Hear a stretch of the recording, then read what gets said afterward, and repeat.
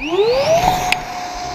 Flite Test FT Viggen is a great foamboard EDF that I like a lot, but for some reason I haven't flown it since a while. It was during the last flights that I noticed it was behaving a bit strange. Depending on the amount of g-forces, it was either tending to turn left or right. It was more like a rodeo than a controlled flight. In the end, it resulted in some sketchy moments like the one shown in my last Viggen video. It was a recovery in the last second. But as you can see, I pulled very hard and the g-forces were heavily bending the wing. So time for a deep inspection of my Viggen. Yes, this wing definitely got soft. The soft area is at the joint between the fuselage and the wing. Let's check the canards. Yes, also the canard on the right hand side is very soft. The other side is quite okay. Despite the fact that I had installed a 1x3mm carbon fiber rod, the wing seems not strong enough to handle the high loads during flight. To reinforce the wing, I will add two more carbon fiber rods. One here and another one around here. I will try a 1x5mm carbon rod and a 5x4mm carbon tube. That should add more than enough strength. The position of the 1x5mm rod is about 15mm in front of the aileron hinge line. The slot should be around 3mm wide. Actually a bit wider than the one I cut here. This will lead to some trouble later on.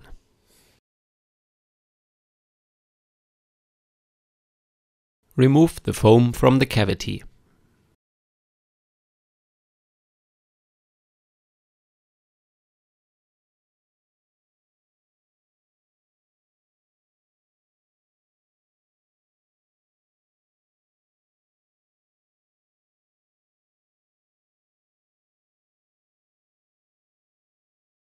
Test fit the carbon rod.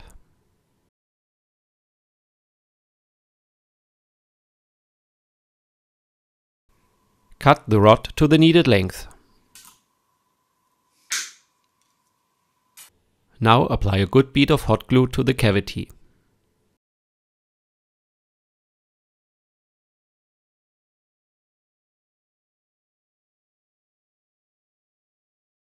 And insert the carbon rod. This is where the trouble started for me. As the slot was too narrow, the amount of hot glue was too low. When inserting the rod, the hot glue immediately cooled down, with the rod stuck halfway in. One hour later, I had the half-glued carbon rod removed and the slot widened. Ready for another try to glue the rod. This time I was able to put enough hot glue into the cavity to properly insert and align the carbon rod. Now quickly turn the plane around to push it on the table and hold it for one and a half minutes until the glue has cooled down. This was already improving the strength of the wing, but the carbon tube would definitely be needed in addition to make it real strong. Let's grab the carbon fiber tube. Finally, I chose a position of the tube a bit further back than initially intended. It should be around 115 mm in front of the aileron hinge line. Cut along the line without cutting the paper on the other side.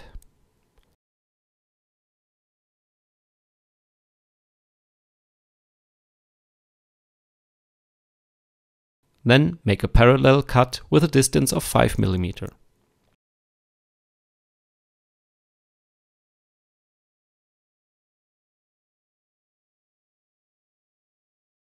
Pull off the paper and remove the foam from the cavity.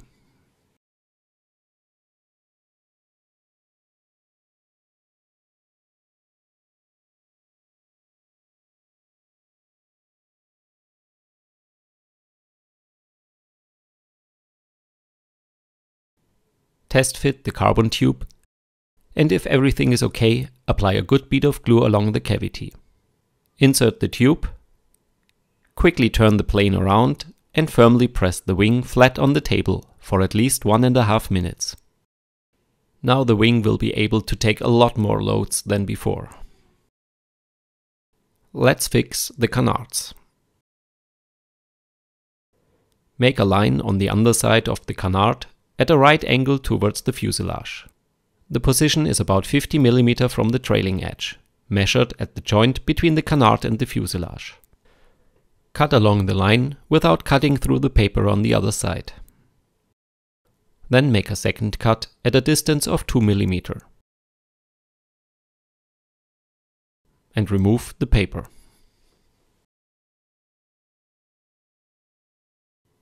Then remove the foam from the cavity. Test fit a carbon fiber rod with a diameter of 2.5 mm. Insert a barbecue skewer into the slot and punch it through the outer and inner sidewall of the air intake. Test fit the carbon fiber rod. It should be flush with the inner sidewall of the air intake. Apply a bead of glue to the cavity and insert the carbon rod.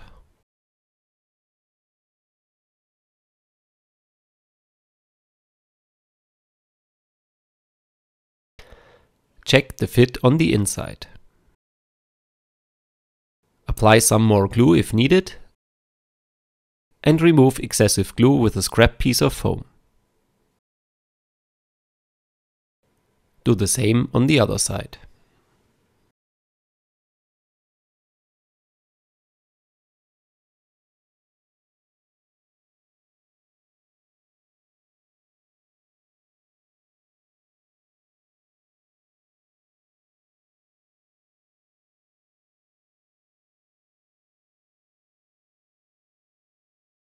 That completes the repair of my FT Viggen. Time to make a test flight.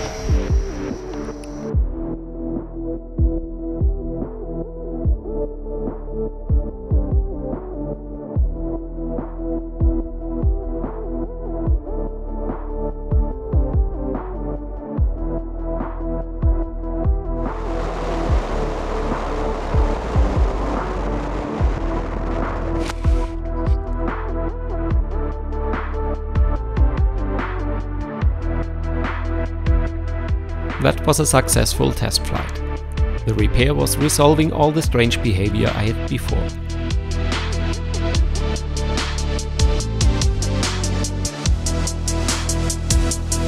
Thanks for watching Bavarian RC.